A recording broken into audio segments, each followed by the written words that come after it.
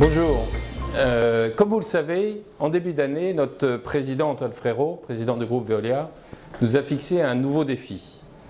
Euh, et un défi important, il nous demande, en matière de prévention des accidents du travail, santé, sécurité, euh, de prendre comme objectif zéro accident. C'est un vrai défi, même si nous avons fait beaucoup de progrès au Maroc, chez Veolia Maroc ces dernières années, on a encore du chemin à faire. Pour y arriver, vous le savez, on arrive dans notre semaine de sécurité. Euh, c'est la troisième édition cette année. Euh, on va en profiter pour renforcer la sensibilisation, la, culture véritablement de la prévention de santé et sécurité.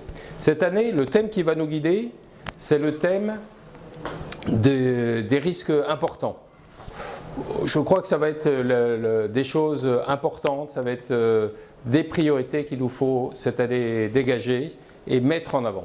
Pour cela, on a sélectionné cinq thèmes. Je peux vous en citer quelques-uns qui nous concernent directement au Maroc, comme le risque électrique, par exemple, risque important. La mise en sécurité des installations, autre euh, sujet important, donc consignation, déconsignation.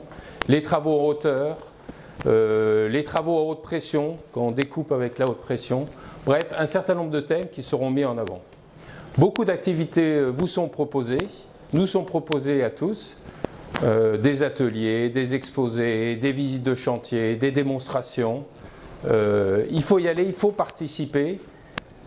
Il y a une chose qu'il faudra jamais perdre de vue, c'est que le matin, quand on part au travail, le premier objectif que chacun euh, doit avoir, c'est de rentrer le soir chez soi, dans sa famille, en bonne santé. C'est ça l'objectif de la prévention de la sécurité.